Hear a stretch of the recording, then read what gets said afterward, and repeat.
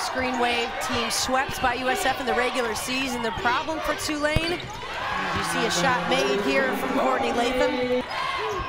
The jumper by Duru is good.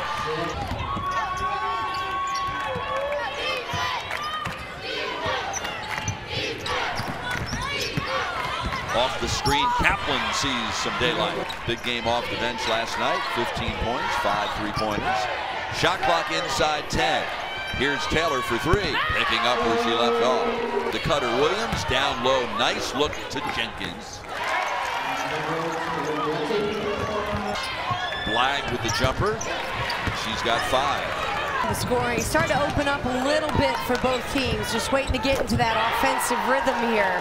Looks like USF has found it. There's a three from Ferreira. Jenkins.